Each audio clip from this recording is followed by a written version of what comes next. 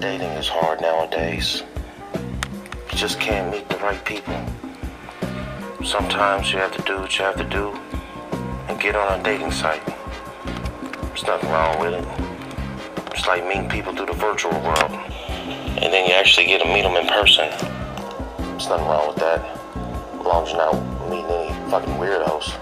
There's a lot of weirdos out here. But there's a lot of stand-up blue-collar guys that like to get on dating sites and talk to women. Real women. Not those fake bitches.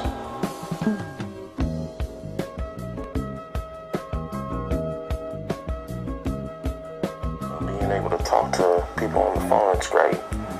Especially able to hear their voice and, you know, imagine what they look like and just match a voice with a face and get the real side of how they are. It's great. There's nothing wrong with them. It is the shit. So fucking wonderful. Then the day comes. You know the day I'm talking about. The day that you're supposed to meet. And I'm not gonna lie, you know, there's always butterflies that can always come along just because, you know, you have that little jittery feeling because you don't really know what they're gonna look like. And then you say to yourself, Lord Jesus, if you're listening, please don't let me be catfished. I don't need that today. So then you just build up anticipation, anticipation, anticipation.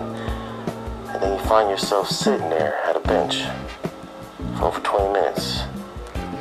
And then you're saying, is this bitch bullshitting? No, no, no, she's not a bitch. She's gonna be my queen. God, I hope she looks like the picture. Getting on these dating sites, you mean people, making sure you're meeting the people that you actually fucking meet, man. Show a current you, not a 5, 10, 15, 20 year picture of you. I'm actually a good guy. But what the fuck I just met? Look, my thing is this. If you show a picture on your profile on a dating site, make sure it's the picture of you, man. Okay? I don't want to come meet you and then all of a sudden I, I'm see, oh, see, see, one right here, one right here. Current you.